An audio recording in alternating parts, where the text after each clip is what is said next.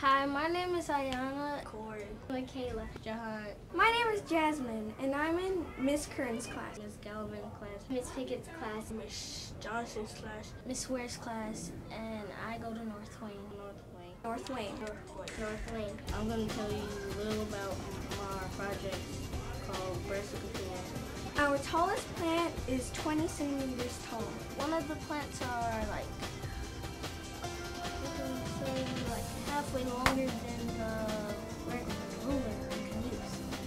tallest plant of ours in the class is 30 centimeters tall.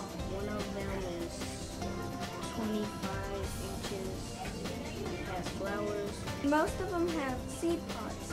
Four of our plants have seed pods. The tallest one can reach the top of the crate.